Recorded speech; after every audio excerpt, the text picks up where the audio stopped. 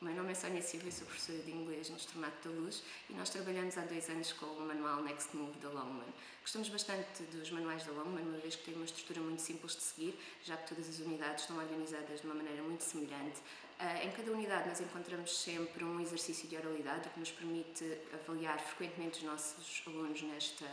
domínio,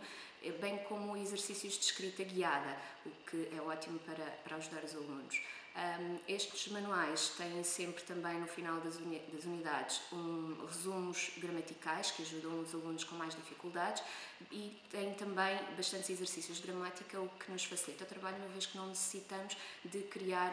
materiais extra.